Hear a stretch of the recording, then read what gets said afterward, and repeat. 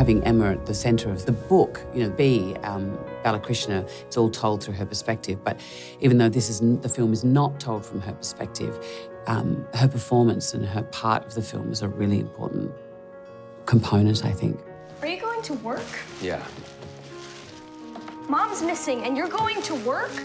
Well, what do you want me to do, Bee? I don't know, maybe look for her? I think what in the book is Bee's organizational ability and all that, you don't need as much, I think, in a movie because the movie itself is doing that. The movie's holding your hand as an audience member through it. I would still say it's largely through her perspective or her angle. It's just not, she's not as active in actually putting this together, but she's still the the motor to what happens in the movie to such a degree. It's her idea to go to Antarctica. It's her idea to uh, follow Bernadette. She has the information that she's there. She does a lot of the research. So she's still pushing the narrative forward, but it's not so entirely through her perspective. Well, you spent your whole life at work.